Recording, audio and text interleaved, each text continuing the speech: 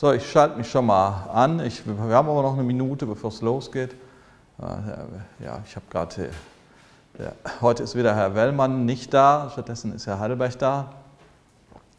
Und Herr Heidelberg macht doch gerade die Tonprobe und er, er nickt, also es ist alles in Ordnung. Gut, dann fangen wir gleich an. Ja. Ja, müssen noch warten, bis alle kommen. Die letzten kommen noch in den Hörsaal, setzen sich hinten in die letzte Reihe. Scherz. Ja, so wäre das im richtigen Leben.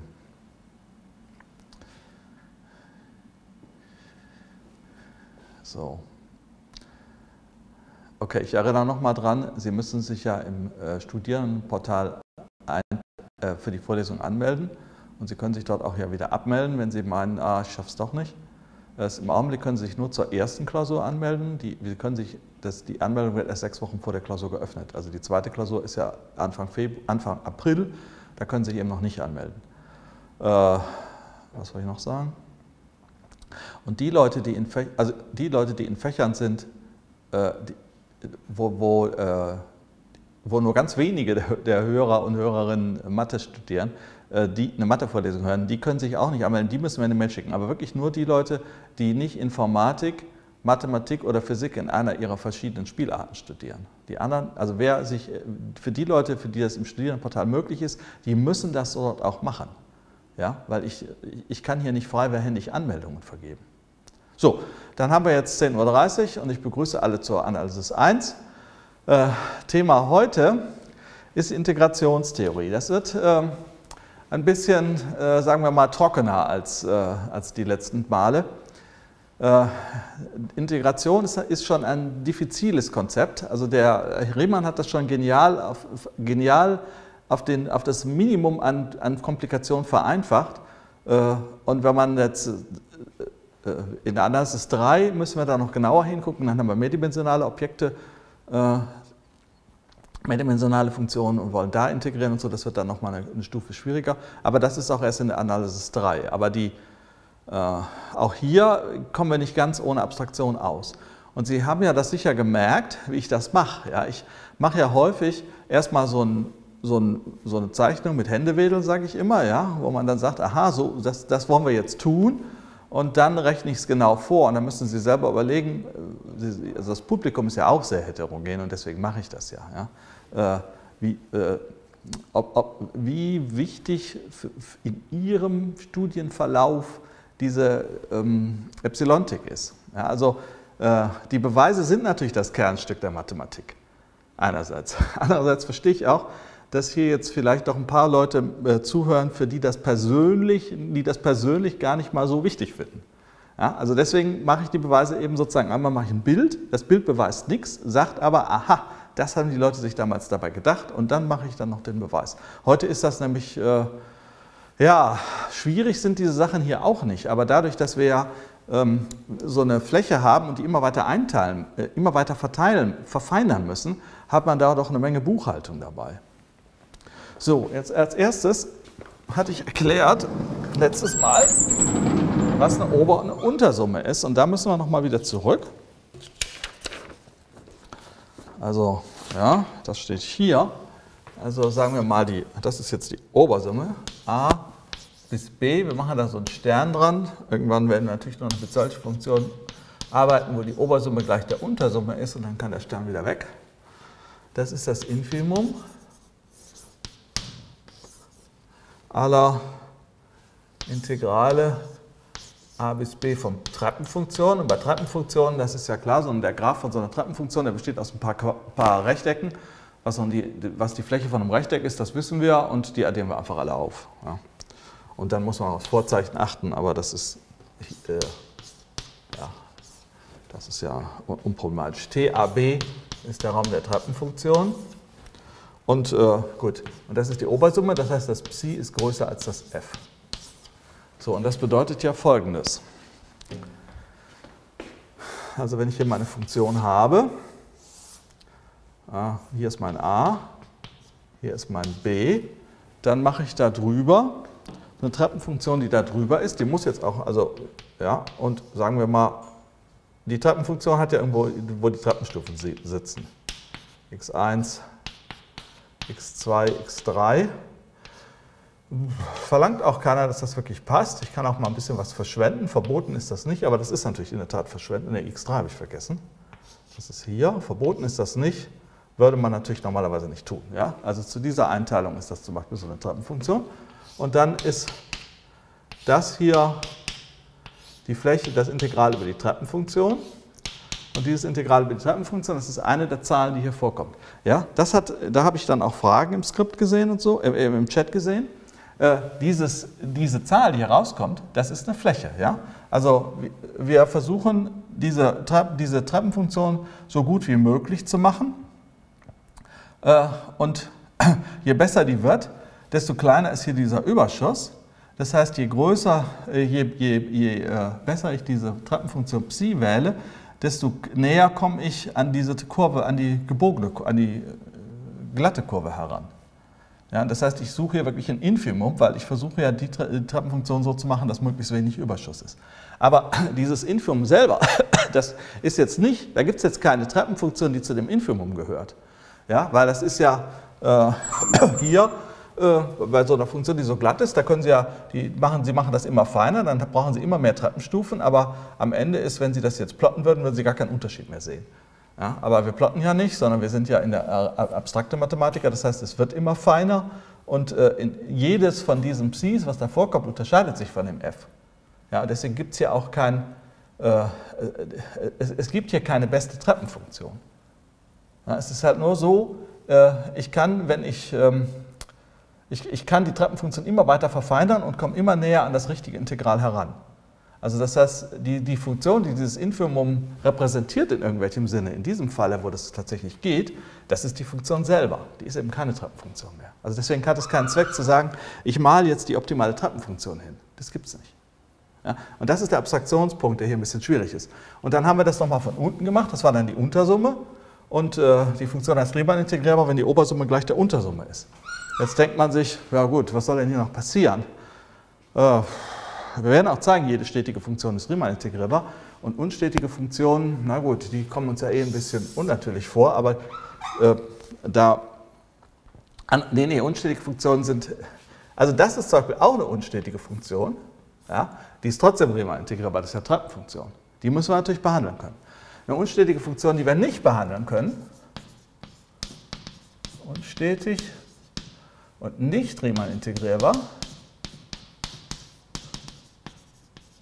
Das hat auch schon jemand in den Chat geschrieben. Das ist, sagen wir mal, diese Funktion. f von x ist 0, wenn x äh, äh, rational ist und 1, wenn x irrational ist. Ja, diese Funktion, der Graph dieser Funktion, der sieht so aus.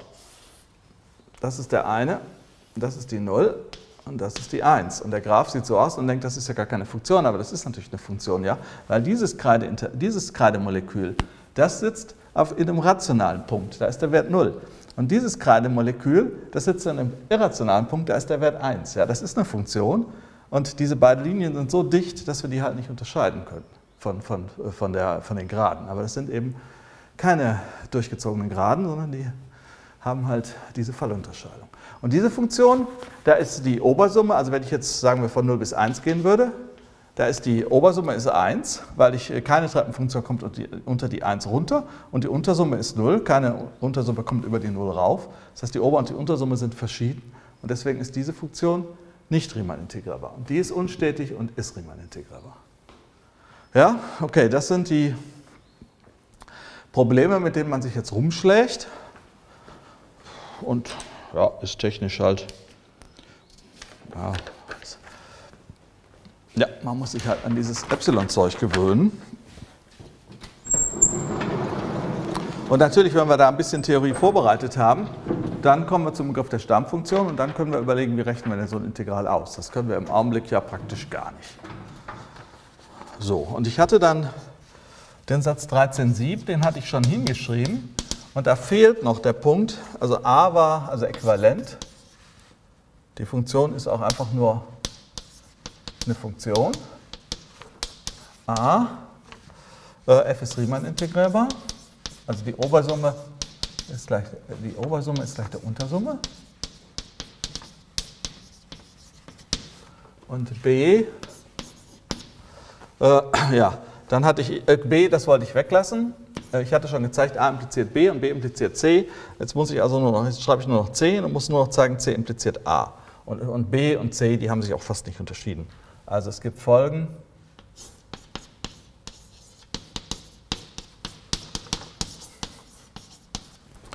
Phi n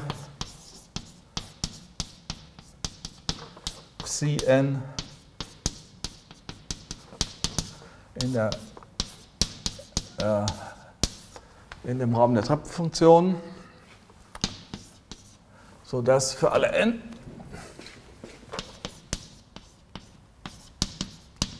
ja, das Phi n liegt drunter, das Psi n liegt drüber, also Phi n kleiner gleich f kleiner gleich Psi n. Und, ja, das kann natürlich immer, und der Unterschied in den Integralen zwischen Phi n und Psi n geht gegen 0 nehmen das Integral von a bis b. Das ist jetzt ja eine Treppenfunktion, was ich hier hinschreibe. Psi nx minus phi nx. Die Differenz von zwei Treppenfunktionen ist eine Treppenfunktion. Äh, dann lasse ich das entgegen unendlich gehen. Und das Integral, was dann raus, also der Grenzwert dieser Integrale ist dann 0. Also die werden, das heißt, das, das phi n, das liegt immer unter dem f und und natürlich dann erst recht unter dem Psi n, aber der Abstand zwischen den beiden der wird so viel, so, der wird kleiner und zwar nicht nur für jeden einzelnen Punkt, sondern so, dass das Integral klein gegen 0 geht. So, diesen Teil des Beweises muss ich noch machen.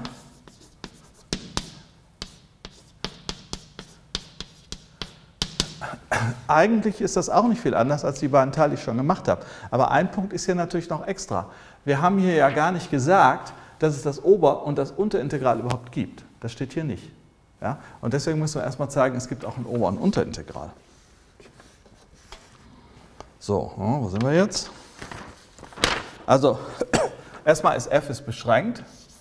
f ist kleiner gleich psi n. Psi n ist eine Treppenfunktion. Treppenfunktionen sind äh, also f ist f liegt, äh Quatsch, also ich muss das nochmal, äh, mit ich schreibe das mit der 1 damit wir sehen, dass ich hier einfach das darüber abgeschrieben habe. Phi 1 ist eine Treppenfunktion, Psi 1 ist eine Treppenfunktion, Treppenfunktionen sind beschränkt, das liegt zwischen zwei beschränkten Funktionen, das ist also beschränkt. Ja, weil Treppenfunktionen beschränkt sind. Das brauchen wir bei Riemann-Integral, ja. Die Schranke kommt auch, glaube ich, nee, diesmal hier kommt die noch nicht vor. So, daher existieren das Ober- und das Unterintegral. a bis b, also das Oberintegral, Stern oben und a bis b Stern unten. Da brauchen wir das Supremumsaxiom, das Vollständigkeitsaxiom. Ja, das hier ist ja tatsächlich ein Supremum von einer beschränkten Menge und das hier ist ein Infimum von einer beschränkten Menge. Das ist klar, wenn wir das Supremumsaxiom haben, dann hat auch jede beschränkte Menge ein Infimum. Ja? Also diese existieren wegen des Supremumsaxioms. So, wir müssen aber zeigen, dass die gleich sind. Noch zu zeigen, sind gleich. Und dann habe ich die Riemann-Integrierbarkeit gezeigt. Ja, so, das machen wir so. Das Integral von a bis b phi nx dx weniger das Integral von a bis b f, Quatsch, der Stern ist ja, ist ja, hier ist kein Stern dran und hier ist der oben, f von x dx. Das ist erstmal, das ist ja einer von denen, die im Unterintegral vorkommen. Also diese, diese sind alle unter dem f.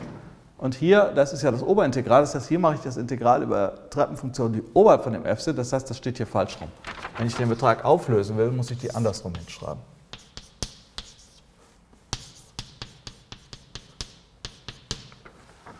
Und ich will, ich will das sogar, ja.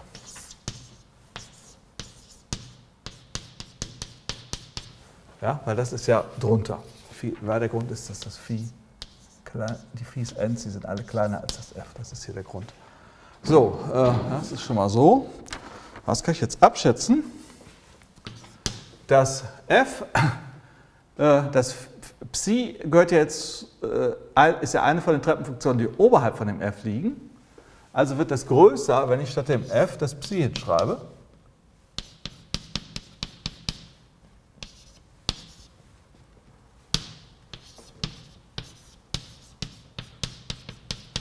So, und jetzt sagt die Voraussetzung c, dass diese Differenz, jetzt kann ich das noch unter ein Integral zusammenpacken, ja, und äh, das, äh, aber das glaube ich, den Schritt brauche ich nicht hinschreiben. Ja? Also diese Voraussetzung c, dass die Differenz psi n, also diese da, psi n minus phi n, dass diese Differenz gegen 0 geht, die führt dazu, dass das hier gegen 0 geht. Ja? Okay, das bedeutet, ich habe gezeigt, der Grenzwert der phi n ist das Oberintegral.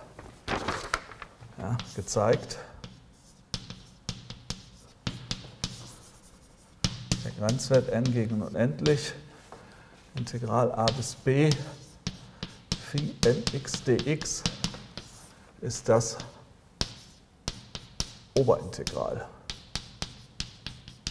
Und genauso, ja, das ist Absicht, da steht das obere, dass ich das Unterintegral als Ganze von den Psis kriege, das ist ja klar. Also das ist, das ist leichter, aber ich habe ja gezeigt, dass das Oberintegral so kriege. Genauso, ja, da brauche ich die Voraussetzung, die brauche ich sonst nicht.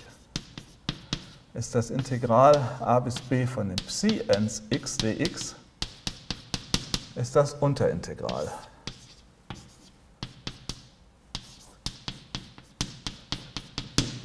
So.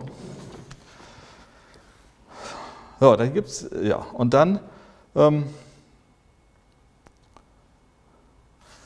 und daraus folgt, so, wegen, also ist Integral das Unterintegral.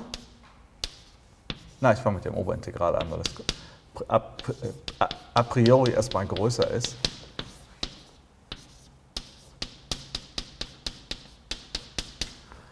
Das ist ja der Grenzwert. n gegen unendlich. Von dem vorne ist es Psi n. Ah, Integrale sind es natürlich trotzdem. Psi nx minus Phi nx a bis b dx, indem ich halt äh, die Psi n's konvergieren gegen das. Ah, jetzt habe ich die falsch rum hingeschrieben. Ist natürlich, ja, es ist ja eh null, aber äh, ich habe ja hier gesagt, dass f ist das der Grenze über die Unterintegral, also muss hier jetzt ein Phi hin.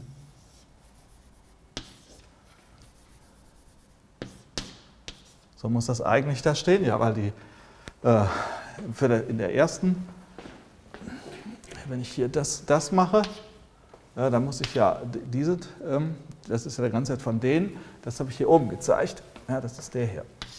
Und der andere ist der in der Zeile darunter. Äh, und das konvergiert aber nach Voraussetzung gegen 0. So, ja? Also tatsächlich das Oberintegral, das konvergiert überhaupt nicht, das ist ja fest. Ja? Aber hier habe ich halt einen Grenzwert und äh, der ist 0 nach, äh, nach Voraussetzung. Und das heißt, das Ober- und das Unterintegral sind gleich. Und das heißt, die Funktionen sind äh, Riemann integrierbar. Okay? So. Gut, das ist das Riemann-Kriterium, ein Satz, den Riemann gemacht hat. Und ähm, von da, ja, ich habe jetzt in der Vorlesung, da steht jetzt ein Beispiel. Man kann natürlich beim Polynom oder so, da kann man ja dann die Summen, wenn man, die, wenn man wirklich super genau Summenformeln hat, also super äh, tüchtige Summenformeln, dann kann man da vielleicht auch mal so ein Integral ausrechnen. Und das steht in der, Vorle im Skript steht das auch drin. Ich glaube, für die zweite Potenz kann es sein, dass es die dritte ist. Und dann habe ich halt so eine da braucht man eine Summenformel über die Summe über die Quadrate oder die Summe der Potenzen, je nachdem, welche Formel ich da genommen habe. Äh, und das kann man dann ausrechnen, dann kommt auch was raus. Das rechne ich jetzt aber nicht vor. Weil äh, klar, das geht so. Und ebenso klar, man macht es nicht so.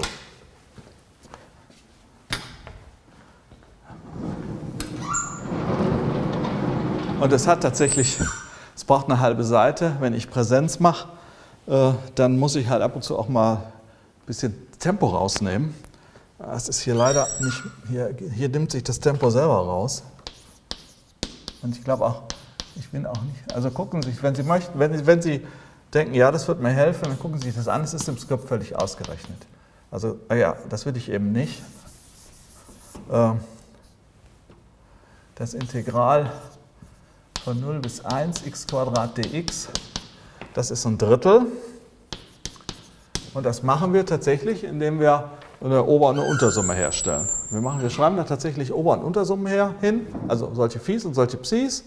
Äh, und dann zeigen wir, dann rechnen wir den Grenzwert von den Phis und den Psis aus und dann, oder ich glaube, ja, und dann sind wir fertig, ja, weil der Grenzwert ist gleich. Also äh, haben wir mit dem Riemann-Kriterium gezeigt, dass die Funktion Riemann integrierbar ist und dann ist die Untersumme halt auch der Grenzwert.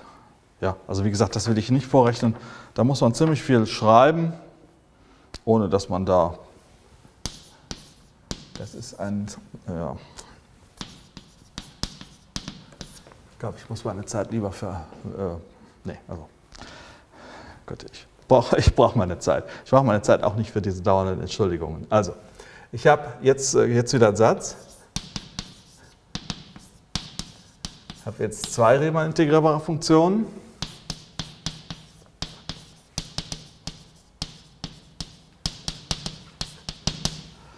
Und ich habe noch eine Zahl, c aus r, also das ist eine Konstante. Und dann ist a c mal das f ist auch immer integrierbar.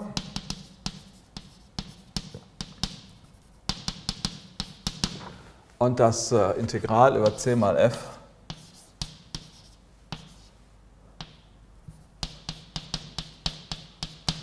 das ist c mal das Integral über f.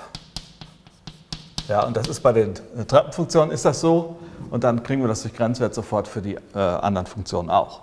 Und die Summe von zwei Riemann integrierbaren ist auch Riemann integrierbar.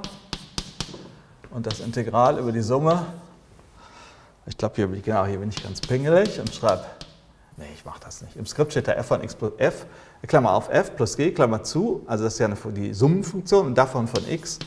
Aber benutzen tut man das ja immer in der Schreibweise. Integral a bis b f von x dx plus Integral a bis b g von x dx. Auch hier, das ist für die Treppenfunktion so. Und dann über den Grenz, äh, durch Grenzübergang kriegen wir das dann halt auch für Riemann integrierbare Funktionen. Also da hatte ich nicht vor, einen Beweis zu machen. So, was hier fehlt, also das heißt, das Riemann-Integral Riemann ist eine lineare Abbildung auf dem Raum der Riemann integrierbaren Funktionen. So gut. Äh, was hier fehlt, ist natürlich das Produkt.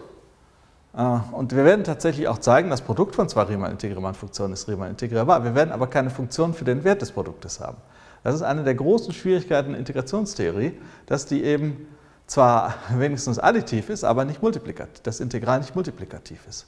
Kann ja auch, ja. Und, aber wir müssen natürlich erstmal zeigen, dass das Integral von zwei integrierbaren Funktionen wieder integrierbar ist.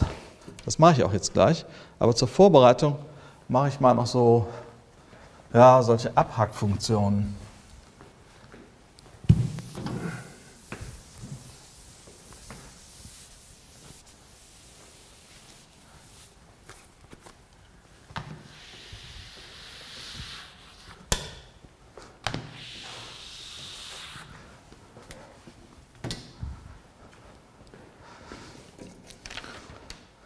1310, die Bezeichnung. Also, ich habe, das ist, hat jetzt mit Integration, die Bezeichnung selber hat mit Integration nichts zu tun. Deswegen ist f von irgendeiner Menge d nach r, äh, äh, äh, das ist einfach nur irgendeine Funktion. Da verlange ich jetzt nicht, dass sie Riemann integrierbar ist oder so, weil ich einfach nur punktweise was definiere. Dann definiere ich f also ich definiere Funktion f plus, ach, also ich definiere f plus von x, x ist natürlich aus d, das ist f von x, wenn x größer gleich 0 ist und 0 sonst. Und f minus von x, das ist, Achtung, minus f von x, hier ist ein Minus, wenn x kleiner gleich 0 ist und 0 sonst. Ja, also das hat den, hier, das ist vielleicht ein bisschen hässlich hingeschrieben, so f minus. Ja, das hat den Vorteil, dass f plus und f minus sind beides Funktionen, die größer gleich 0 sind, weil ich da, ach, was mache ich? Boah, ey, ist im Skript aber richtig, ja? Das ist natürlich völliger Quark. Völliger Quark. Ja, können Sie sich mal überlegen, warum das Quark ist. Es kommt auf den, ich will auf den, das könnte ich ja einfach durch Änderung des Definitionsbereichs hinkriegen, was ich jetzt gemacht habe, ja? Aber ich will ja auf das Bild gucken. Also wenn fx größer gleich 0 ist, äh, dann nehme ich das fx und wenn fx kleiner als 0 ist, dann nehme ich die 0. Und hier mache ich das auch so. Wenn fx kleiner gleich 0 ist, dann nehme ich minus fx, dann ist minus fx ja größer als, größer als 0. Das heißt, das sind beides Funktionen, die größer gleich 0 sind. Ja, weil ich halt hier ja sowieso und hier, äh, weil ich hier dieses Minus reingesetzt habe. Das ist schon mal gut, weil eine Menge Sachen sind für Funktionen, die größer gleich 0 sind, leichter zu machen als für beliebige Funktionen. Und das heißt, äh, dann möchte ich halt aus so einer Funktion zwei Funktionen machen, die größer gleich 0 sind, mache dann mal eine Theorie für die beiden, die größer gleich 0 sind und setze das nachher wieder zusammen. Wie setze ich das zusammen? f ist dann natürlich f plus minus f minus. Ja. Okay. Also das heißt, wenn ich hier zum Beispiel hier den Sinus habe, dann, also das ist der Sinus, das ist f, das ist der Sinus, dann ist das f plus, ist dann das f plus und das ist f minus. Ja, also die sozusagen der negative Balken, der ist das, der, der, der, die negative, der negative Bauch, das ist das f aber ich klappe das hoch, damit ich es als Funktion größer gleich 0 behandeln kann, weil ich eben Sätze machen werde, die nur mit größer gleich 0 zusammenhängen. So, dann ist f gleich f plus plus f minus und auch wichtig ist, f Betrag ist gleich, nee, f ist gleich f plus minus f minus und f Betrag ist f plus plus f minus. Ja? Auch alles klar. So, und äh, ja, dann mehr oder weniger klar, wenn man das man mal Epsilons auspacken, mache ich auch im Skript, lasse ich aber jetzt, glaube ich, weg. Äh, diese, wenn das f Riemann integrierbar ist, dann sind auch f plus und f minus Riemann integrierbar. Äh, und umgekehrt, wenn beide Riemann integrierbar sind, dann ist auch f Riemann integrierbar. Ja, da muss man sich überlegen, wie sehen denn die Treppenfunktionen aus, die ich dazu kriege. Muss ein kleines bisschen, weil das Vorzeichen von den Treppenfunktionen muss ja nicht unbedingt das Vorzeichen von der Funktion selber sein. Deswegen muss man ein kleines bisschen nachdenken. Im Skript ist das auch ausgeführt, ist aber ja,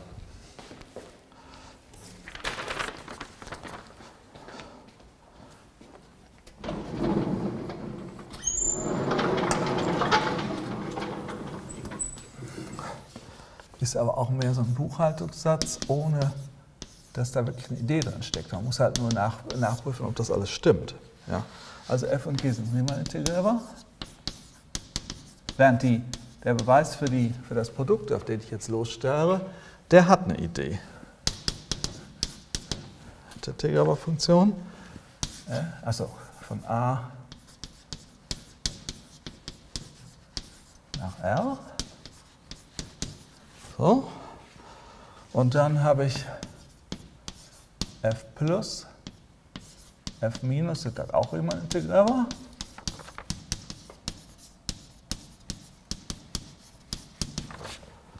B, f Betrag ist Riemann integrierbar.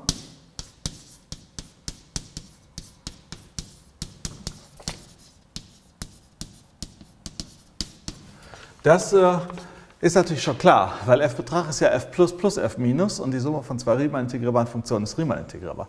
Das müsste man vielleicht gar nicht hinschreiben, aber wir haben da natürlich auch die Dreiecksumgleichung.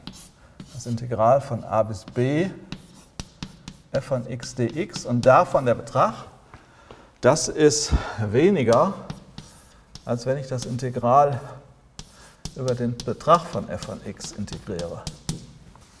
Ja, das ist eine Dreiecksumgleichung. Ja. Wird hier vorgerechnet, gilt aber für die Treppenfunktion, weil ja die endliche Dreiecksungleichung, die haben wir schon ganz lange bewiesen. Und dann gehen wir halt im Grenzübergang, kriegen wir dann auch die Dreiecksungleichung für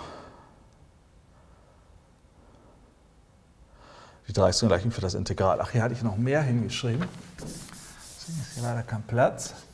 Das ist natürlich kleiner gleich m mal b minus a,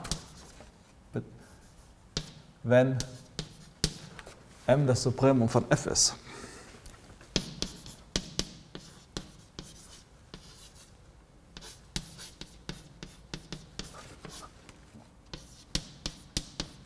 Dieses Supremum existiert, weil die Funktion f ja beschränkt ist. Äh, das ist natürlich völlig, völlig klar, weil ich ja dann an dieser Stelle über das m hinschreiben kann und dann ist das halt m mal b minus a. Äh, ich schreibe das nur deswegen extra hin, weil das natürlich die einfachste Abschätzung ist, die ich für so ein Integral machen kann. Also manchmal, ich muss ja Integrale auch abschätzen und äh, das, wenn ich das, das billigste ist natürlich das da. Also meistens reicht das nicht, aber wenn das reicht, dann ist ja gut, dann können wir aufhören. So, jetzt habe ich Die Rückrichtung, dass wenn f plus und f minus Riemann integrierbar sind, die habe ich eben gesagt, die schreibe ich gar nicht hin. Das liegt ja daran, dass dann f gleich f plus und minus f minus ist und die Differenz von zwei Riemann integrierbaren Funktionen ist Riemann integrierbar. Ja, diesen Teil, äh, den habe ich im Skript nicht hingeschrieben. Das letzte, was noch kommt, das Maximum von zwei Riemann integrierbaren Funktionen, also das ist die, ja, und das Minimum, die sind auch Riemann integrierbar.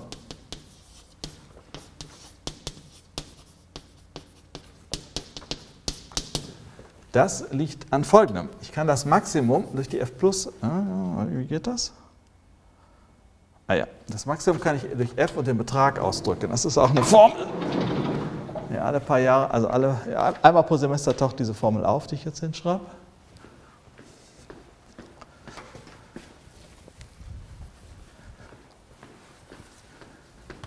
Also den Teil, diese Formel, die gehört natürlich zum Beweis, die muss ich machen. Ja. Die muss man auch mal gesehen haben.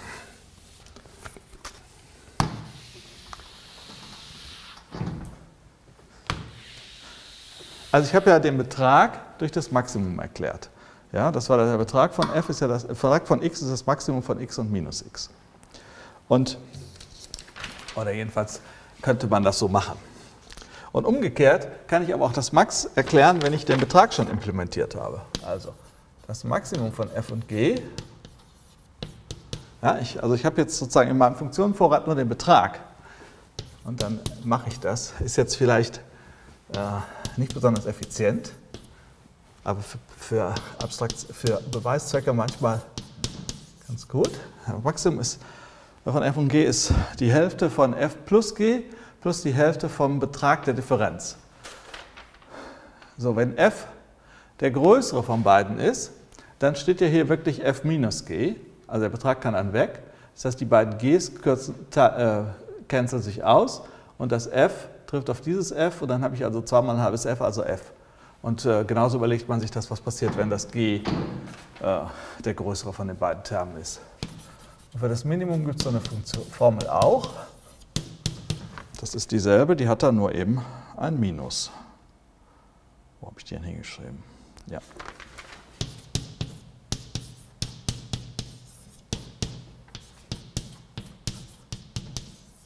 Ja? Und da ich ja in den Teilen, äh, die in Teil B gezeigt habe, dass der, dass, dass der Betrag Riemann integrierbar ist, äh, ist dann eben auch, das ist ja, sind dann diese Konstruktionen auch Riemann integrierbar. So, genau, und jetzt? Ja, also das nächste, was ich machen muss, ist tatsächlich, ich muss zeigen, dass das Produkt von zwei Riemann integrierbaren Funktionen Riemann integrierbar ist. Da muss man tatsächlich ein bisschen arbeiten. Das machen wir dann nach der Pause. Wir machen eh um diese Zeit ungefähr Pause und dann haben wir ja dann auch frische Kräfte. Ist eine Frage aufgelaufen, die ich beantworten sollte? Also bisher sieht es ganz gut aus. Ich glaube, das meiste konnten wir schon unter uns klären. Ist Herr Wellmann auch wieder dabei? Der ist dabei und der ist auch fleißig am äh, ja, gut. Okay. beantworten. Ja, hallo Herr Wellmann. Danke, gut, dann machen wir jetzt, äh, ich mute mich, ich wische die Tafel, in fünf, fünf Minuten bin ich dann wieder da.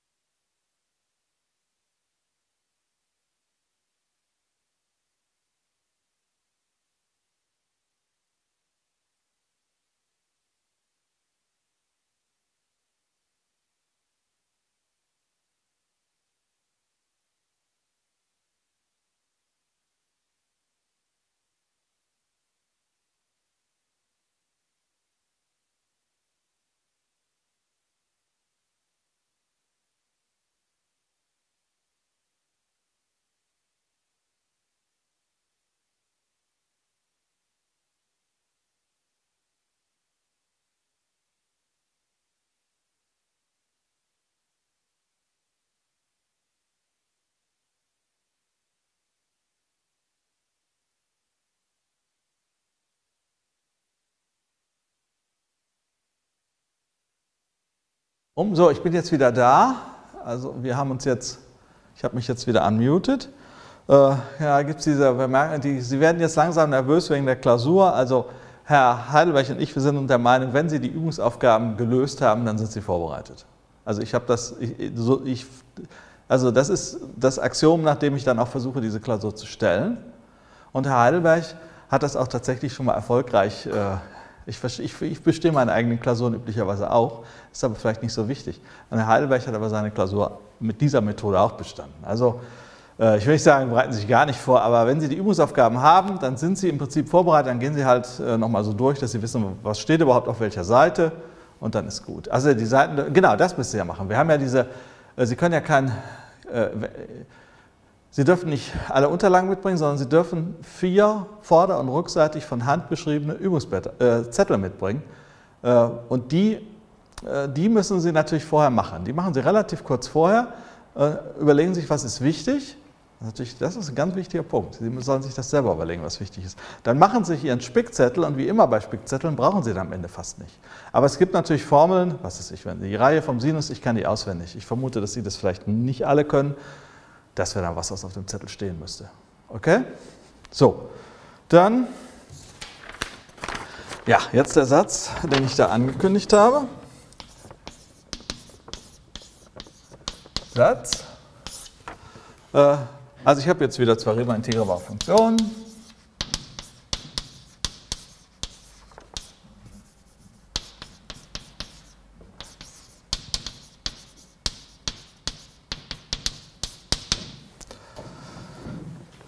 Dann a, das Quadrat ist Riemann integrierbar. Und b, also das Quadrat von der einen. Das Produkt von beiden ist Riemann integrierbar. So, und wir machen tatsächlich erst das Quadrat. Und dann führen wir das Produkt auf das Quadrat zurück.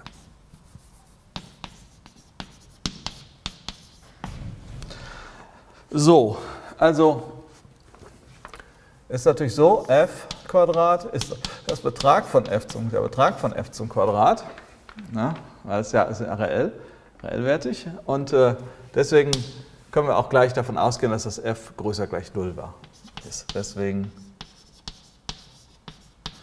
nehmen wir an,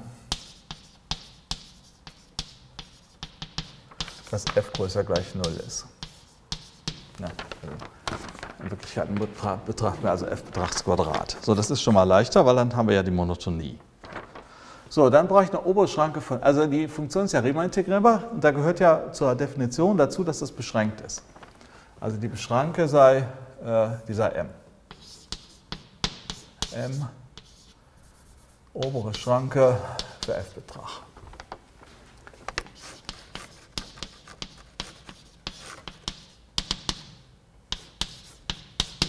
Brauchen wir gleich irgendwann.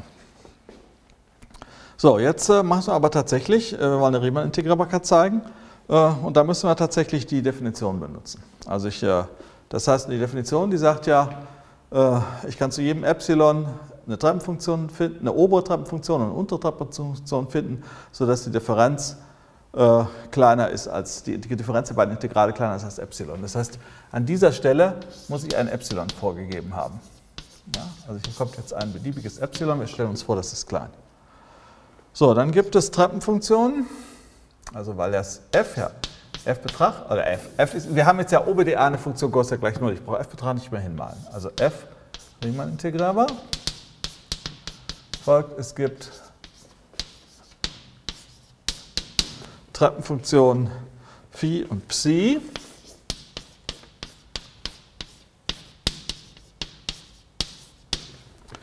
Ja, äh, hier bleibt noch ein kleines Stückchen frei. Phi ist kleiner gleich f, kleiner gleich Psi. Das machen wir immer so. Das f ist aber größer gleich 0.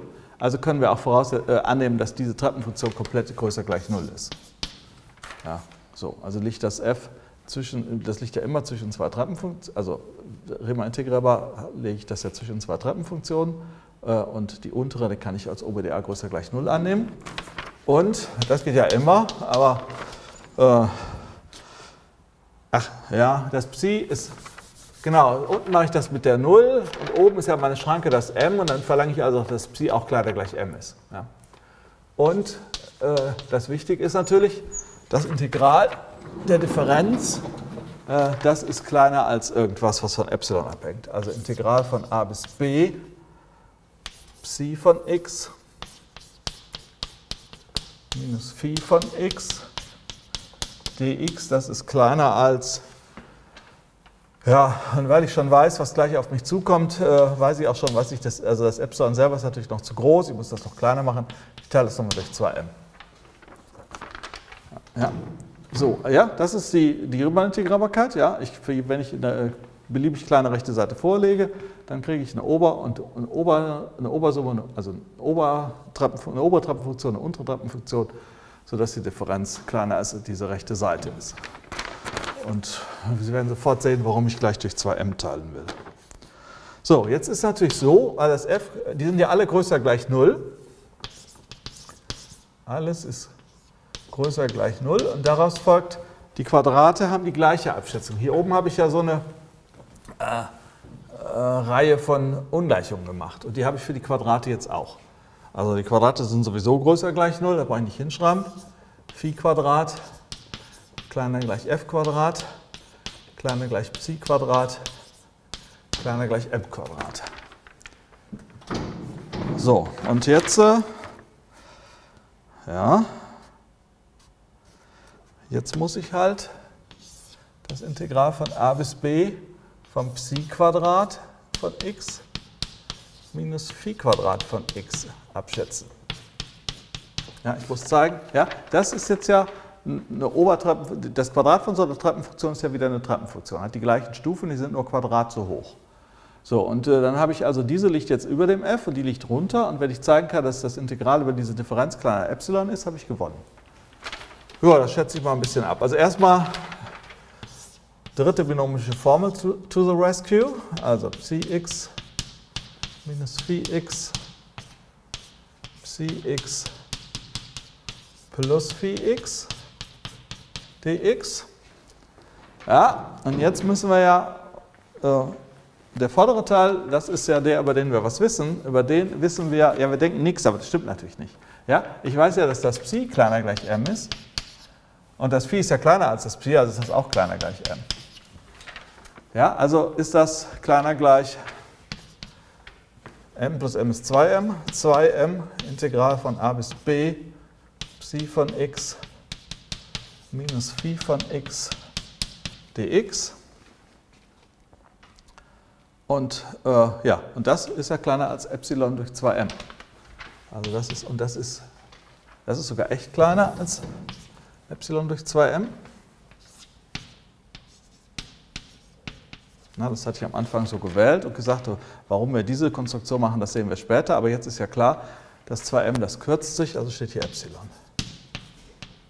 Ja, dann bin ich also mit dem, also gezeigt, das Quadrat ist integrierbar. Ja, also gezeigt, f Quadrat ist Riemann integrierbar.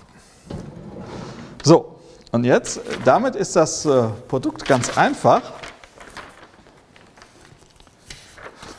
Ja, das ist nämlich so. Das ist schon ein pfiffiger Trick. Das ist bestimmt, also ich weiß nicht von wem der ist, aber ich tippe mal auf Riemann. Also FG, das ist ja ein Viertel f plus g Quadrat minus f minus g Quadrat. Ja, können Sie einfach ausrechnen. Das f Quadrat, äh, ja, das steht dann hier einmal mit Plus, einmal mit Minus. Das g Quadrat steht auch einmal mit Plus und einmal mit Minus. Aber hier diese zwei Minusse bei dem gemischten Term in der äh, zweiten binomischen Formel, die werden ja zu einem Plus, das heißt, den gemischten Term habe ich viermal und teile ich den durch vier und gut ist. Ja? Und äh, das ist natürlich Riemann integrierbar, weil es die Summe von, weil es das Quadrat, die Summe von zwei Riemann integrierbaren ist ja Riemann integrierbar, also ist f plus g Riemann integrierbar und nach dem, was ich gemacht habe, ist das Quadrat dann auch und das eben auch. Ja, also fertig. Jo, gut, pfiffig und so. Und wir müssen jetzt aber auch überlegen, das ist nämlich ein wichtiger, wir müssen uns überlegen, was wir hier nicht gemacht haben. Also bei dem, als ich gesagt habe, die Summe von zwei Riemann integrierbaren Funktionen ist Riemann integrierbar, habe ich gesagt, und das Integral von der Summe ist die Summe der Integrale. Das war da so. Bei Plus ist das so. Bei Mal habe ich das nicht gesagt, das stimmt auch einfach nicht. Ja? Also wir haben wirklich nur ausgerechnet, dass das Ding ein Integral hat. Wir haben aber keinen überhaupt keinen Hinweis gegeben, wie man das Integral ausrechnen kann. Ja? Und das ist, äh, deswegen ist Integration auch so eine schwierige Kunst, weil man halt, so wie da ein Produkt vorkommt, muss man sich irgendwie überlegen, was kann ich denn mit diesem speziellen Produkt jetzt machen, um das rauszukriegen. Ja, so. Gut, das ist dann aber, äh, dazu müssen wir überhaupt erstmal sagen, wie wir denn so ein Integral rauskriegen wollen. Das, dazu brauchen wir den Hauptsatz. Da sind wir aber immer noch nicht.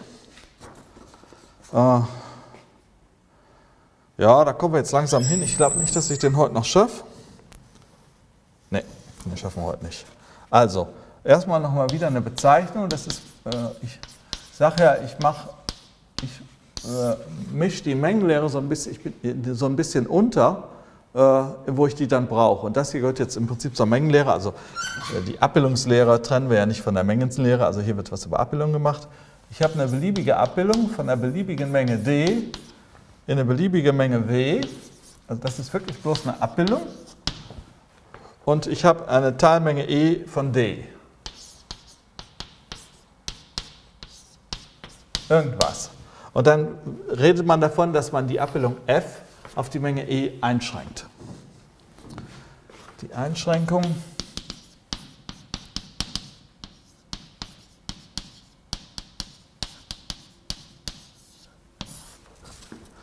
von f auf e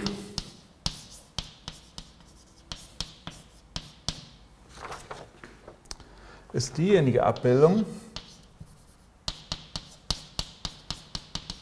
ist die Abbildung, Abbildung, ja, da gibt es verschiedene Zeichen. Mathematiker machen in der Regel das folgende. Man hat das f, man macht so einen langen Strich, der ein bisschen nach unten durchreicht und schreibt da die Menge hin, auf die eingeschränkt werden soll. Ja? Und das ist eben eine Menge von der, eine Abbildung von der kleineren Menge in dieselbe wie vorher und mit derselben Vorschrift. Also f i von x das ist gleich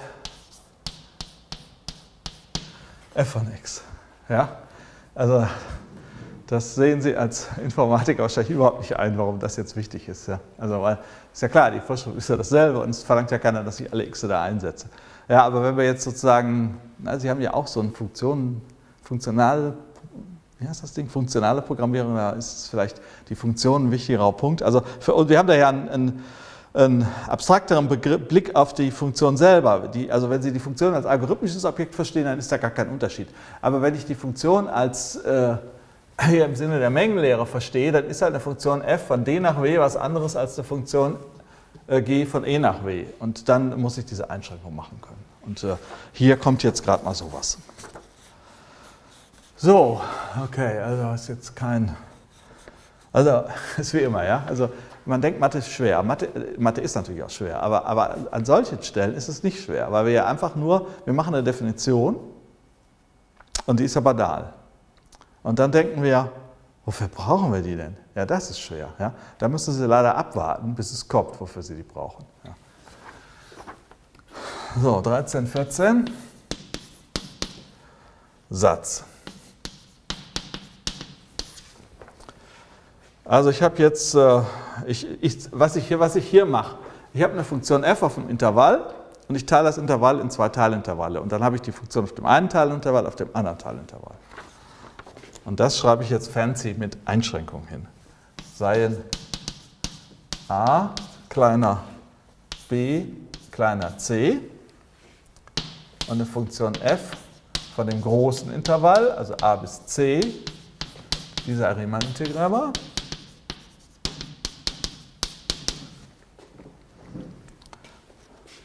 Nee, ich will da gleich zwei beide Richtungen in 1 tun. Also schreibe ich, ist genau dann Riemann integrierbar, wenn. Ist genau dann.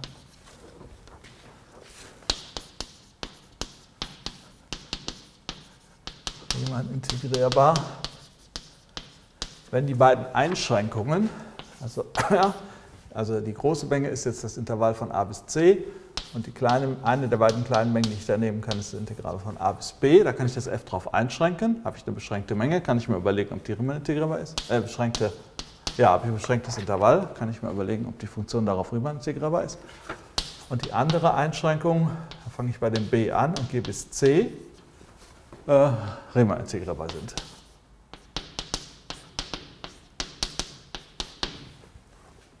Ja, also wie gesagt, ich habe Funktion habe ich hier, dann habe ich die Funktion hier, und dann kann ich daraus eine zusammengesetzte Funktion machen, indem ich erst hier laufe und dann da.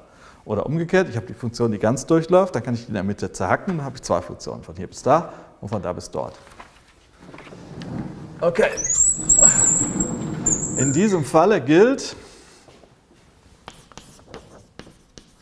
das Integral von a bis c f von x dx ist das Integral von a bis b f von x dx plus das Integral von b bis c f von x dx. Ja, und das ist ja irgendwie, hier habe ich die Funktion, hier habe ich a, hier habe ich b, hier habe ich c und wenn ich die Fläche unter dem Ganzen nehme, dann ist das die Fläche unter dem plus die Fläche unter dem. Und das ist bei den Te äh, äh, Treppenfunktionen so. Und dann äh, konvergiert halt, ja, dann kriege ich das durch Grenzwert auch wieder auf die gesamte. Also das, ähm, das ist jetzt kein, ja. Okay, das ist, also ja, das, also da, da approximiert man halt die beiden Stücke durch Treppenfunktionen, setzt das zusammen und dann konvergiert das. So, dann noch eine Bezeichnung. Das ist eine Besonderheit des eindimensionalen Integrals. Äh, man kann das Integral, äh, man kann das Intervall ja sozusagen, das ist ja ein Intervall von a bis b, da ist ja eine Richtung drin. Ich kann ja auch, äh, und deswegen sagen wir jetzt, das Integral von a bis b ist das Negative vom Integral von b bis a. Das ist Willkür, da müsst ihr, ja, okay, also man setzt, der erste Punkt ist natürlich das Integral von a bis a, f von x dx das ist 0, weil da ist ja keine Fläche. Das ist ja einfach nur so ein, ja, das wäre jetzt hier nur dieser Strich und der hat keine Fläche. Das ist klar, dass wir das so machen müssen. Und äh, Integral von b bis a f von x dx gleich minus Integral von a bis b von x dx. Ja, das ist äh, das ist am Ende Willkür. Also in der Analysis 3 äh, ist dieses Minus plötzlich nicht mehr da. Ja, dann schreiben wir aber natürlich auch nicht dx für das Integral, sondern d Lambda x für das Lebesgue-Integral oder so. Ja, also es ist dann nicht dieselbe Formel. Und bei dem Lebesgue-Integral macht man das eben so, dass man das Vorzeichen hier nicht ändert. Und äh, äh, bei dem eindimensionalen, da denkt man wirklich, der R, der hat auch eine Richtung. Ich laufe von minus unendlich bis plus unendlich. Und äh, dann versucht, denkt man, ja, dann will ich diese Richtung auch an dem Integral sehen können. Wenn ich das rückwärts durchlaufe, dann ist es eben andersrum. Und tatsächlich ist diese Vor die Substitutionsregel, die ich nachher machen werde, die ist halt, äh, die funktioniert halt so schön, wie ich die mache, weil hier dieses Minus steht. So, dann, das haben wir gerade, das war eine Definition. Ja, und jetzt äh, noch ein Satz über monotone Funktionen. Der Hauptsatz ist dann der Satz über stetige Funktionen. Jetzt machen wir aber erstmal monotone.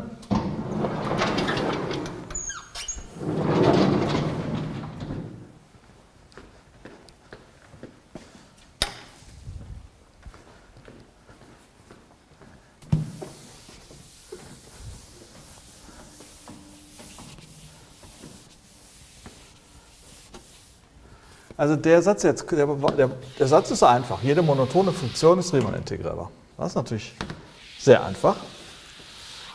Äh, aber der Beweis ist dann so ein Brain Twister, weil man sich überlegt, äh, teilweise wird dann die x-Achse zerlegt und teilweise wird die y-Achse zerlegt und das, wenn man das genau abpasst, dann kommt es genau raus. Das muss man sich dann aber mal zu Hause auf der Zunge zergehen lassen. Also 13, 16. Satz, jede monotone Funktion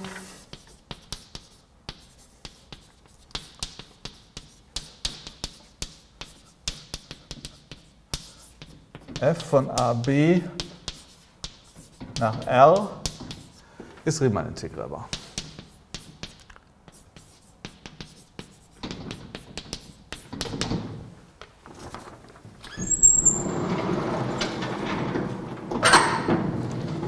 So, Beweis. Jetzt steht da monoton, also es gibt da zwei Fälle, das monoton wachsend und das monoton fallend. Ich brauche natürlich nur einen, einen Fall beweisen, also äh, sei ohne Einschränkung. OE heißt ohne Einschränkung, also das heißt, ich brauche wirklich nur einen Fall, weil der andere genauso geht. F monoton wachsend.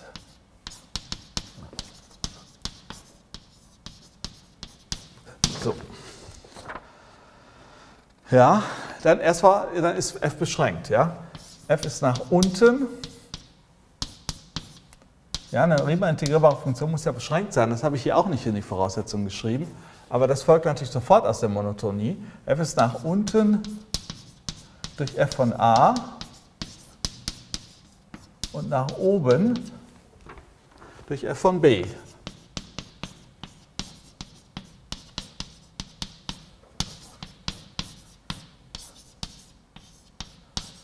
beschränkt. Also die Beschränktheit haben wir schon mal abgehakt. So, jetzt mache ich meine Phi-Ns und Psi-Ns. Und das heißt, ich gebe mal also ein n vor.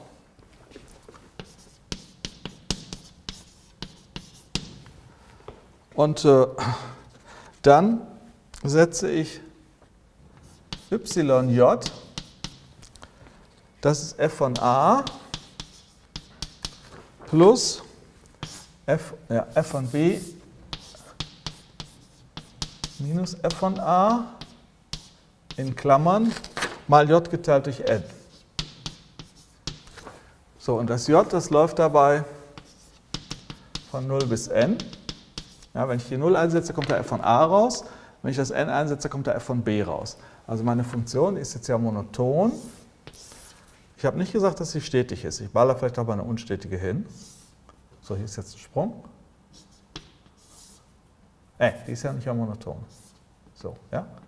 Na gut, die kann aber vielleicht so aussehen. So, ja? A,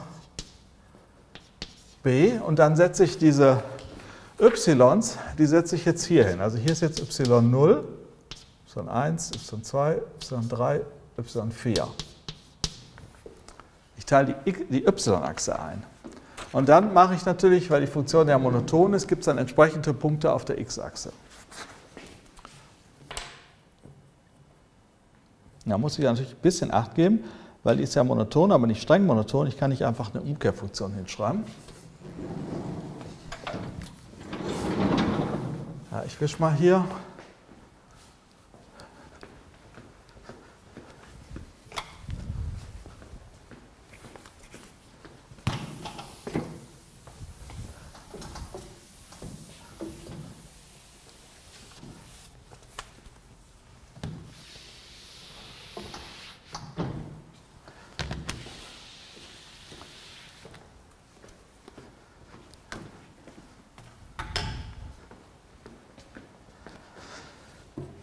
So, na, da ich nachgucken, damit ich mich da nicht verschreibe.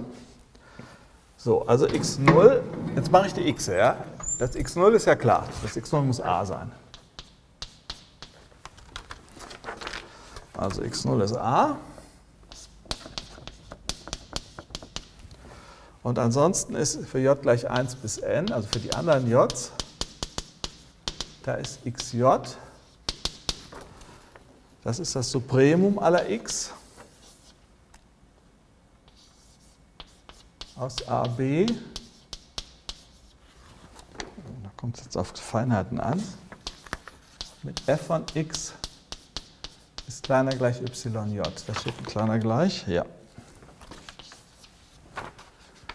Jo, also an den meisten Stellen ist das ja total harmlos. Also hier ist das y1, da gehe ich hier so rüber. Gibt es überhaupt nur eine Stelle, wo das y1 angenommen wird?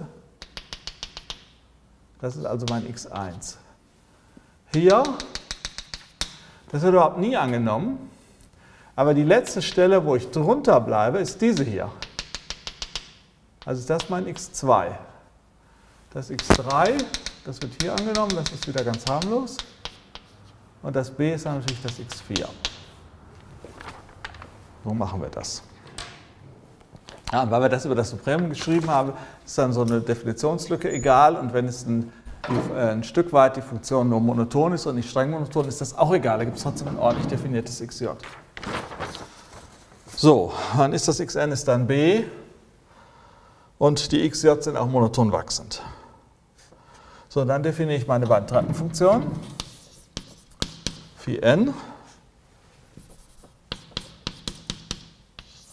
von x, das ist das y am linken Rand vom Intervall, yk minus 1 für xk minus 1 kleiner gleich x kleiner xk so, da gibt es ja für jedes x gibt ein k, wo das drin ist. Das einzige x, was wir vergessen haben, ist b, weil das b ist ja in keinem Intervall mehr drin, weil das xn ist ja das b, aber hier steht ein echtes kleiner. Und ich muss natürlich einmal kleiner gleich und einmal echt kleiner schreiben, damit die nahtlos aneinander passen und sich nicht überlappen. Also das b habe ich jetzt leider vergessen und dann steht da eben hier fb.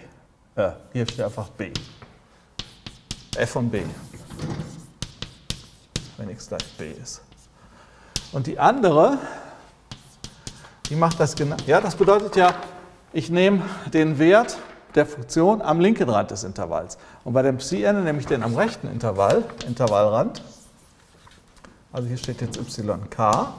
Sonst mache ich alles genauso. x1 minus xk minus 1 kleiner gleich x kleiner xk und b, f von b, wenn x gleich b ist. Ja, also wenn ich jetzt hier in diesem Intervall unterwegs bin, dann mache ich einmal hier diese linke, das Phi, das hat den linken Rand und weil die Funktion am Monoton wächst, ist das Phi unter dem f. Und wenn ich das Psi mache, dann nehme ich den rechten Rand und das Psi ist dann über dem f. Also ist ja klar, Phi n und Psi n sind Treppenfunktionen und es ist Phi n kleiner gleich f kleiner gleich Psi n, weil ich das einfach so gemacht habe. So, hört. Jetzt müssen wir aber mal gucken, ob das denn auch wirklich so hinkommt. Also jetzt brauchen wir das Integral von a bis b, psi n von x minus phi n von x.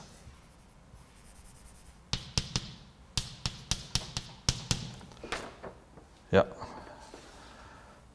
Ja, und wir müssen zeigen, das konvergiert gegen 0. Das ist nach dem Riemann-Kriterium, äh, ist das ja eine, eine der Dinge, die man da zeigen kann. Also wir zeigen, das geht gegen 0. So, jetzt ist natürlich hier alles, alles ist genauestens äh, hingeschrieben. Ja? Ähm, wir müssen uns nur äh, nochmal äh, zusammen, äh, also wir müssen jetzt einfach nur, weil es steht jetzt alles da. Jetzt müssen wir uns überlegen, was haben wir hier definiert. Erstmal, das ist ja ein Integral von einer Treppenfunktion. Das ist also die Summe über alle äh, von k gleich 1 bis n.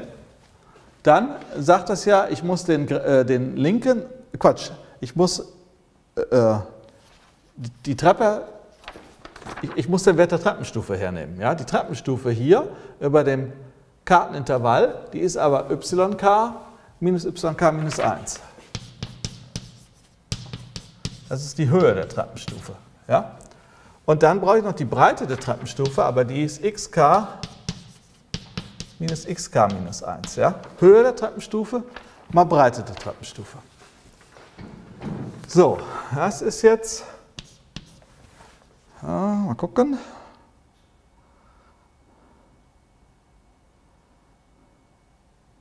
So, diese hier, die habe ich aber gleichmäßig gemacht. Die können wir ausrechnen, die stehen hier. Ja, das können Sie ausrechnen. Das ist weg, weil ich das abziehe. Und dann habe ich diesen gemeinsamen Faktor und dann ist es j durch n. Also dieses ist immer äh, f von b minus f von a durch n.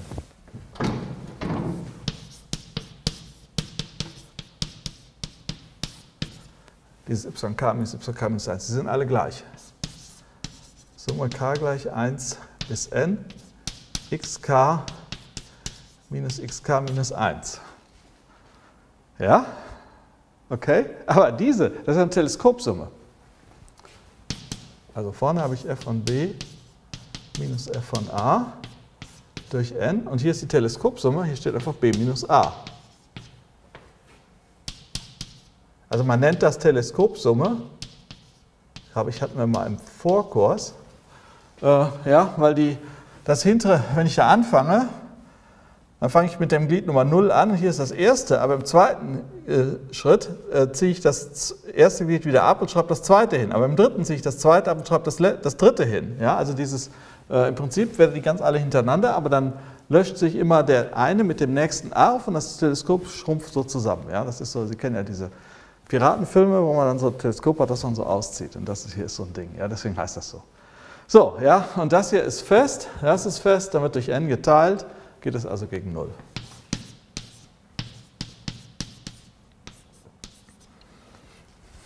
Ja.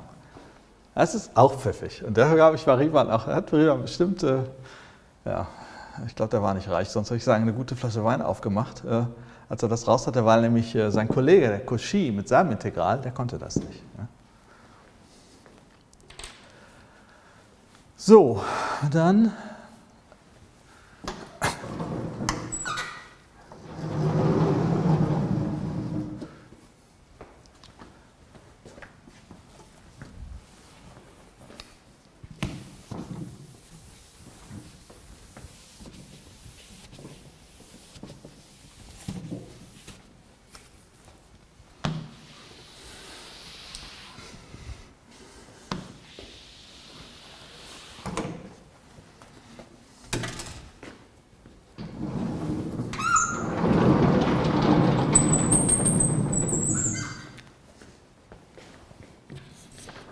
Was habe ich denn jetzt im Plan?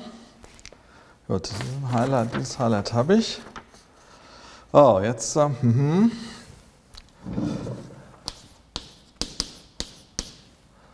Ja, wir denken jetzt, wir, wir sind jetzt ja auf dem Weg zum Hauptsatz.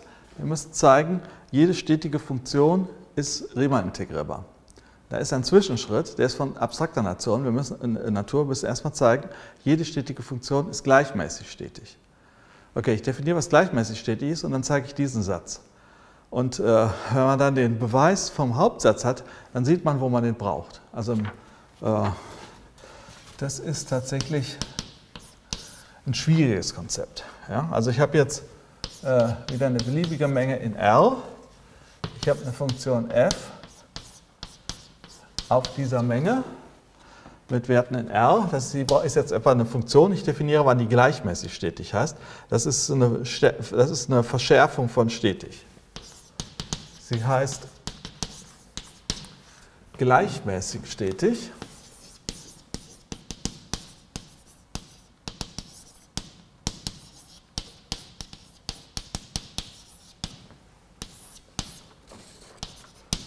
Wenn, und ich schreibe das jetzt in, in Quantoren hin, zu jedem Epsilon größer 0 gibt es ein Delta größer 0, sodass für alle xy, ja, das passt nicht, sorry. Das ist ja ein wichtiger Punkt, da habe ich nicht quetschen. Also, für jedes Epsilon größer 0 gibt es ein Delta größer 0 sodass für alle xy aus d mit Abstand kleiner Delta gilt f von x minus f von y, davon der Abstand ist kleiner als Epsilon. So, und bevor Sie jetzt nachschlagen, was stetig ist, schreibe ich Ihnen das mal hin, damit Sie einen Unterschied sehen können. Zum Vergleich, ja, zum Vergleich stetig. Ja, stetig war ja, habe ich ja definiert, stetig, äh, ich glaube, kann ich noch sehen, stetig im Punkt x0. So, und stetig heißt, die in jedem Punkt stetig ist. Also das heißt, hier steht erstmal der Quantum für das x0, also das x0 heißt in unserem Fall jetzt aber x, also für alle x aus d und für alle Epsilon größer 0 gibt es ein Delta größer 0 und jetzt ist alles wie eben. Für alle xy in d mit x minus y kleiner als Delta gilt f von x minus f von y kleiner Epsilon. Ja, also der, äh, der Stetigkeits, die Stetigkeitsdefinition, der, die hatte zwei Teile. Der erste Teil war, wir haben ein festes x und die Stetigkeit in diesem festen x hatte diese Formel gehabt. Für alle Epsilon gibt es ein Delta, sodass, ah, siehst du, hier habe ich falsch abgeschrieben. Ah, ja, das war ja genau habe ich den Gag verpasst. Gell? Also, ja, wir spulen nochmal zurück und so, ja. Also, Hier habe ich natürlich den Gag verpasst. Äh, ah, doch mal verpasst. So, jetzt. Ja? Also, das x ist ja fest. Das, das haben wir aber festgewählt. Wir haben die Stetigkeit in dem x. Und dann nehme ich, wenn das y von dem x einen Abstand weniger als Delta hat, da sind f von x und f von y, klar, haben einen Klappstand weniger als epsilon. Und äh, diese Forderung, die stelle ich in jedem x. Das kommt jetzt dann natürlich ganz nach vorne. Und bei der gleichmäßigen Stetigkeit, da verlange ich zu jedem Epsilon, dass das Delta für alle Paare xy gebraucht werden kann. Also hier ist das Delta, gilt gleichmäßig für alle x und dieses Delta, das kann von dem x abhängen. Ja? Das ist der Unterschied. Deswegen heißt das gleichmäßig, weil dieses Delta gleichmäßig für alle x gewählt werden kann. So, eine Funktion, die nicht gleichmäßig stetig ist. Beispiel f von 0 unendlich nach r natürlich, aber hier ist die 0 ist eben ausgeschlossen. Äh, f von x gleich 1 durch x ist nicht gleichmäßig stetig.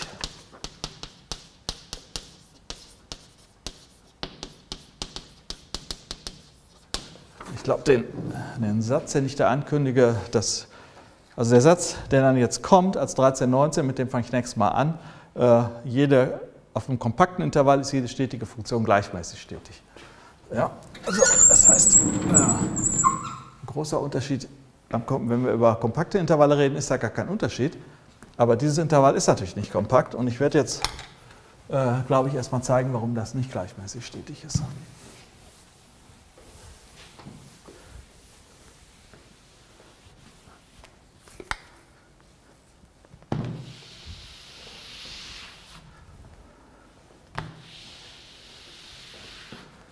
So, also ich äh, schreibe erstmal, also bei dem Beispiel, da steht jetzt kein Beweis im Skript. Äh, scheint mir aber doch vielleicht zur Übung gar nicht mal so schlecht, wenn man das mal macht. Also wir haben da ja auf der dritten Zahl in der oberen Tafel, da steht ja der, die, die Quantoren, die man da macht. Also das heißt, man muss zeigen, es gibt ein Epsilon größer 0, sodass für alle Delta größer 0 äh, gibt es zwei Punkte x und y äh, aus dem Intervall, also in unserem Fall ist das Intervall 0 unendlich, äh, mit Abstand ist kleiner als Delta, aber der äh, Abstand der Bildwerte, der ist größer als Epsilon. Größer gleich. Ja, wir müssen ja das verneinen. f von x minus f von y. Kleiner Epsilon müssen wir verneinen also f von x minus f von y größer gleich Epsilon. So, ja, also diese Funktion, ähm, die sieht ja so aus, über die wir da jetzt reden. Und wir wollen die wirklich bis, bis zur Null ran, in der Null selbst ist ja gar nicht definiert. Ja? Und das heißt ja, wenn ich hier um ein Epsilon zur Seite gehe, dann habe ich wirklich nur einen kleinen, dann, dann ändert sich der Funktionswert hier nur ein ganz kleines bisschen. Aber wenn ich hier um ein kleines Stück zur Seite gehe, dann ändert sich der Funktionswert gewaltig. Ja? Also kann ich, und zwar wirklich beliebig gewaltig, also ich kann hier als Epsilon was nehmen, was ich will. Ich versuche das mal mit Epsilon gleich 1. Ja? So, sei Delta größer 0 beliebig. Äh, dann wähle ich mal x gleich. Kann sein, dass ich hier gleich wischen muss. Na, x gleich Delta geht auf jeden Fall, ja x gleich Delta, weil wenn ich dann von dem x ein Delta abziehe, das y kann ja dann, äh, da wäre ja das, die, alles, alles bis runter zur Null ist ja dann als y erlaubt, wenn ich das als x als Delta nehme. So, das y, das, das sage ich aber erst gleich. Ja? Äh, ich nehme jetzt irgendein y, was links von dem x liegt, dann ist der Funktionswert dort ja größer und muss ausrechnen, was ich da nehmen muss, äh, damit der Funktionswert, äh, damit ich f von x minus f von y größer gleich epsilon habe. So, und der, also der, warum kann man sowas mittlerweile, am Anfang haben wir ja solche Abschätzungen auch gemacht, die waren dann, die habe ich dann immer vorbereitet, weil dann am Ende braucht man ja irgendeinen arithmetischen Trick. Aber hier braucht man keinen arithmetischen Trick mehr, weil wir haben jetzt ja den Mittelwertsatz. Ja? Deswegen kann ich das einfach, da kann, in, in, in, so eine Schlacht kann man sich jetzt unvorbereitet stürzen, weil man im richtigen Augenblick das, den Mittelwertsatz aus der Tasche zieht. So, ja? Also f von x minus f von y, das ist also äh, nach dem Mittelwertsatz, ist das ja x minus y mal f' an der Stelle xi. Ja, wir reden jetzt hier über Beträge, muss ich hier auch einen Betrag machen. Also für ein xi, es gibt ein xi aus dem Intervall von, x bis y, von y bis x. Ich möchte das y jedenfalls schon mal kleiner als das x haben. Ja, und das ist ja x minus y. Und die Ableitung ist ja minus 1 durch x Quadrat, also steht hier minus 1 durch xi Quadrat. Das Minus kommt aber weg, weil ich hier einen Betrag habe. Und das ist also dann, das x ist das Delta, minus das y habe ich immer noch offen, mal 1 durch, ja, und äh, hier sage ich jetzt, ich will ja größer, ich will ja zeigen, dass das größer gleich Epsilon ist, also muss ich hier nach unten abschätzen. Und das Xi, das ist ja kleiner als x, also wenn ich jetzt hier nach unten abschätze, muss ich hier schreiben 1 durch x Quadrat. Ja, aber 1 durch x Quadrat ist ja 1 durch Delta Quadrat.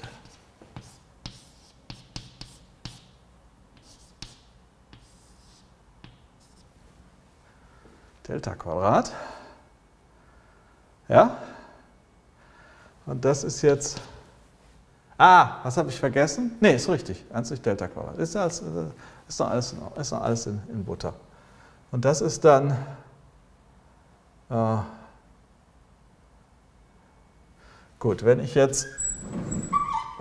Sagen wir, ich hätte y gleich Delta halbe genommen. Das darf ich ja. Dann glaube ich, bin ich, habe ich schon gewonnen. Es gibt gerade eine Bitte? Anmerkung aus dem Chat. Ja. Und zwar die Formel oben zur äh, Stetigkeit. Da, dass die ersten beiden Quantoren vertauscht sind. Der, die beiden x-Quantoren? Nee, das existiert ein Epsilon größer 0, sodass für alle Delta. Ja. Das ist richtig so? Das ist richtig. Ich nehme die Zeile, die da, also diese, äh, diese Zeile, ja, und, in, in, und äh, verneine die.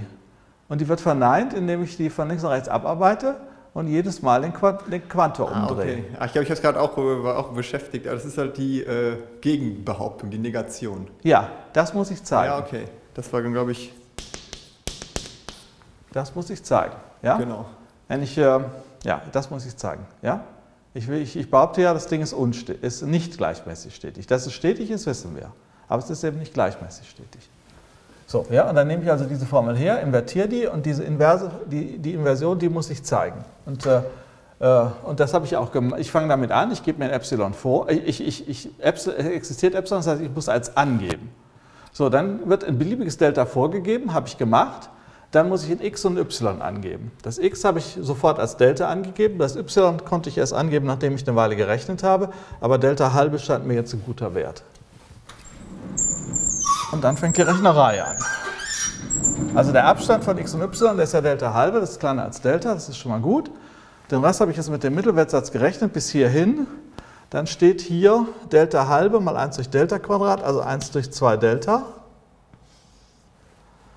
Und das ist äh, ja, und das ist jetzt größer als 1, wobei ich dann vielleicht, wenn ich jetzt also hier, diese, ich muss jetzt an dieser Stelle nachbessern. Das ist jetzt, äh, wenn ich das wirklich vorbereitet hätte, hätte ich das unterdrückt, dass man es nicht sieht. Aber in Wirklichkeit ist das ja so, wir brauchen das nur für kleine Delta. Also kann ich jetzt sagen, ohne Einschränkung ist Delta kleiner als ein halb. Und dann ist das hier größer als 1. 1 durch 2 Delta. Ja? Und äh, äh Ja, denn wenn ich das ja, äh, wenn ich ein kleines Delta habe, für das das nicht gilt, wenn, wenn es für alle kleinen Delta nicht gilt, dann gilt es für alle großen ja auch nicht. Denn äh, wenn es, äh, ja, also hier, hier steht ja ich habe das jetzt nur gemacht für den Fall, dass das Delta kleiner an halb ist. Aber wenn ich jetzt ein großes Delta habe, dann nehme ich halt das Beispiel, was ich für Delta gleich ein Viertel gefunden. Also wenn ich ein Delta größer als ein halb habe, dann nehme ich das Beispiel, was ich für Delta gleich ein Viertel gefunden habe. Das darf ich ja nehmen, weil ein Viertel ist ja dann kleiner als das, als das große Delta und, das, äh, und die Differenz ist trotzdem größer gleich 1. Ja? Also hier reicht es, das für kleine Zahlen zu machen und weil ich hier mit der Abschätzung mit dem Delta rausgekommen bin am Ende, äh, äh, brauche ich dann eben, muss ich, muss ich voraussetzen, dass das Delta kleiner als ein halb ist.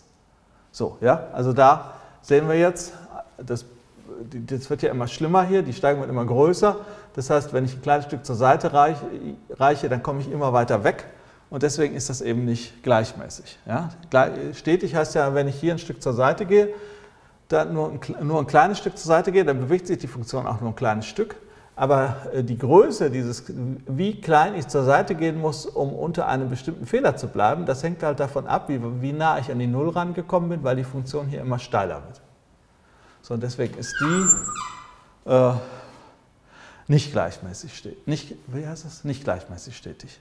So, dann mache ich noch eine, die gleichmäßig stetig ist. Da gehe ich aber den einfachen Weg und mache das für x Quadrat. Da muss ich dann, weil ich da jetzt nicht nochmal mit dem Mittelwertsatz rechnen will, ja, ich kann auch einen Sinus nehmen, aber soll ich einen Sinus nehmen? Ich glaube nicht. Also, ja, ich mache das einfach für x Quadrat. Es hat sich auch noch eine Handvoll Fragen zur Klausur angesammelt. Die habe ich jetzt ja, alle mal zurückgehalten. Die, die, ja, die,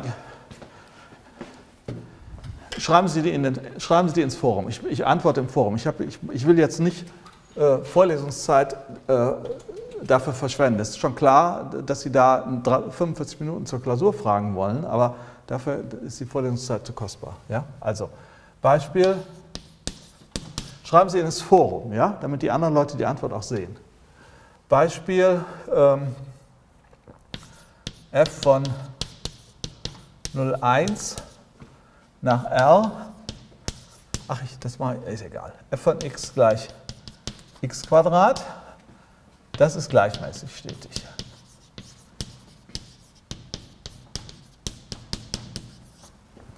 Ich bin auch nicht am, ja gut, es ist klar. Ja, so, also da muss ich zeigen, äh, zu zeigen, für alle Epsilon existiert ein Delta, sodass für alle xy gilt, wenn x und y Abstand kleiner als Delta haben, dann ist f von x minus f von y hat einen Klappstand kleiner als epsilon. Teil Epsilon ist Delta. So, ja? Okay, äh, dieses Mal ist das Epsilon natürlich beliebig vorgegeben. Ich kenne das nicht. Ich weiß nur, dass es positiv ist. Sei Delta gleich, ja, ich bin da jetzt nicht vorbereitet, also das schreibe ich jetzt gleich hin. Dann ist also f von x, also jetzt nehme ich x minus y kleiner als Delta an. Dann ist f von x minus f von y. Das ist x Quadrat minus y Quadrat. Okay, jetzt ist der Mittelwertsatz verschwendet. Wir könnten natürlich auch hier den Mittelwertsatz benutzen, aber das ist verschwendet. Äh, hier geht es schneller, wenn ich die dritte binomische Formel nehme, also x minus y mal x plus y, kann ich glaube ich die Beträge gleich rausziehen, mal x plus y. Äh, x minus y ist kleiner, hat einen Abstand höchstes Delta. Und hier noch, brauche ich nochmal die Dreiecksumgleichung. x Betrag plus y Betrag. Ja, also einmal brauche ich hier das hier. Und dann brauche ich noch die Dreiecksumgleichung. Und x-Betrag und y-Betrag, ja, da brauche ich jetzt halt, dass ich auf dem Einheitsintervall unterwegs bin. Ja? Also das Intervall der Länge 2 wird es auch tun, aber ganz R wird es nicht tun, weil ich jetzt hier verwende, dass das kleiner gleich 1 ist und das auch. Ja, da habe ich wirklich benutzt dass ich hier auf dem kompakten Intervall bin.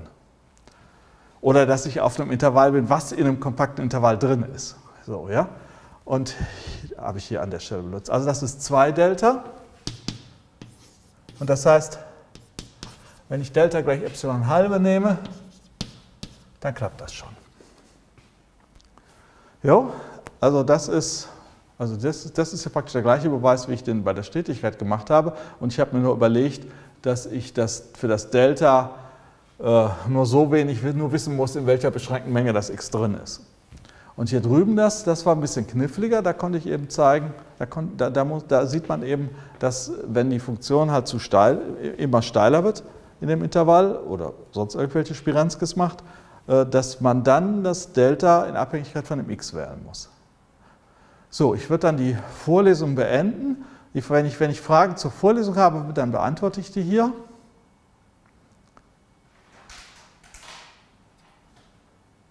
Gerade kam noch rein, ähm, wieso ist Betrag von f von x minus f von y gleich Betrag von x hoch 2 minus y hoch 2? Ja, weil wir ja hier über die Funktion x Quadrat reden.